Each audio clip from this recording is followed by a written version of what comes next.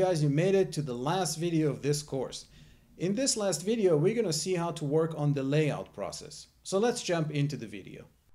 And we can go into File, Import, and we can bring in the set fit that we just did for the footage with the partial zoom. And we can take the whole group and now match it to the scale of the car. And we need to make sure that the car is sitting where it's supposed to be. So I'm taking the whole group and just moving it to where this car should be. And I can select the car and just rotate it to face the camera if I need. And selecting the group again, we can pretty much make sure that the car is sitting where it's supposed to based on what our VFX supervisor is telling us.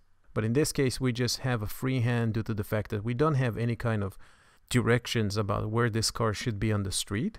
And if we just play this, we'll see that the car sticks. And we need to change the timeline to the proper length of 349 because the file that contains the model of the car didn't have the proper length.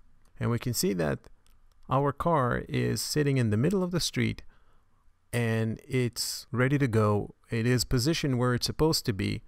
And in this case, we can take our plane that represents the road, turn the visibility off, as well as that house that we use to make sure that everything matches, turn the visibility off, and we can take this scene and give it to the next artist in line, which might be the animation artists or even the FXTDs that might need even to explode this car or make something to it. Maybe it burns in the middle of the street and then the rest of the production pipeline can work on this file.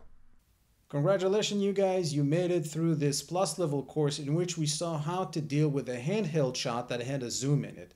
I hope you enjoyed this course and please feel free to check the rest of the courses we have here on VFXtutored.com. I'm Michael Rafaelovich and you've been VFX Tutored.